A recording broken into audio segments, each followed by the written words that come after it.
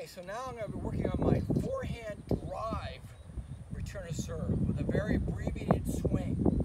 Now look where I'm standing. I'm only about 15 feet from the wall, and you need to determine a good place for you to do this. Now, if you're too close, that ball will come back too fast. You won't be able to hit any of them. If you're too far away, the ball will be going too slow.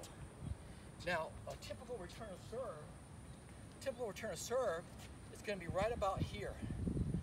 That's where I'm going to try to be hitting most of my balls. It's okay if I hit some down here. My goal is to make myself hit it up here. So I'm not really worrying at all about my target when I'm doing the return serve drill. I'm worrying about can I keep it going and can I hit it in this area here.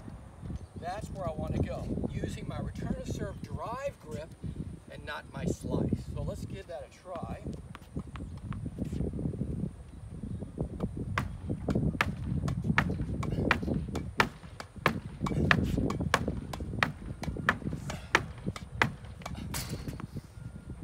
again here.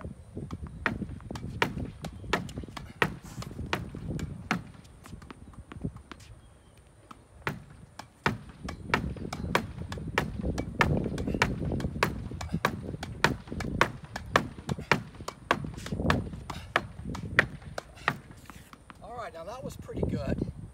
I liked the speed at which I was hitting it. I liked my grip. It felt like a return of serve. And that's what you're going for, okay? Now you can do that with your backhand too.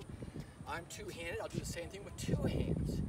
But trying to keep it going. As you're hitting it hard against the wall, oftentimes the ball's gonna come right at your body, you may get hit. And it will feel just like a return of serve. You know, when they go for your body, oftentimes a player does get hit with that serve. So this really does simulate working on a fast serve and returning it with a drive. Okay, that's a take. Thanks a lot.